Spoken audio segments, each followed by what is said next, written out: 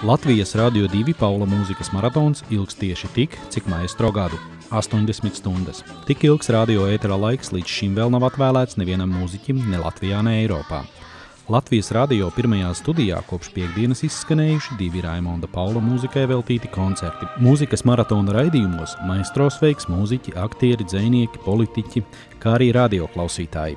Cilvēki ne tikai no Rīgas eh, brauc no visas Latvijas ciemos pie mums uz radio, eh, lai varētu meistro tiešām ēterā apsveikt, eh, piemēram, svētdien Man vienkārši līdz asarām aizkustināja mūsu klausītāja Inta no Kārsavas, kur bija trijos naktī ar autobusu. Sākus braukt no Kārsavas, astoņos no rīta viņa bija Rīgā, tātad piecas stundas.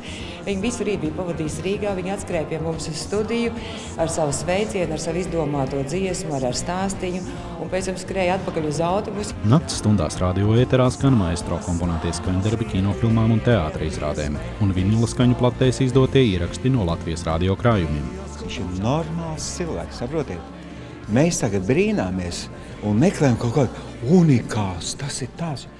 Saprotiet, un, un aizmirstam, ka ir arī normāli cilvēki. Un Raimons ir normāls cilvēks.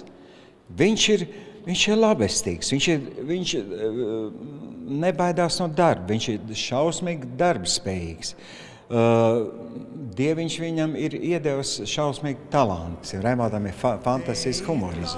80 gadu maistro apritēs tieši rīt, 12. janvārī, un sākot no rītdienas Nacionālajā teātrī skanēs pieci Paula jubilejas koncerti. Īpašas pārraides Latvijas radio un Latvijas televīzijas ēterā turpināsies gan šodien, gan rīt. Andris Gross, Artūrs Liepiņš, Latvijas televīzija.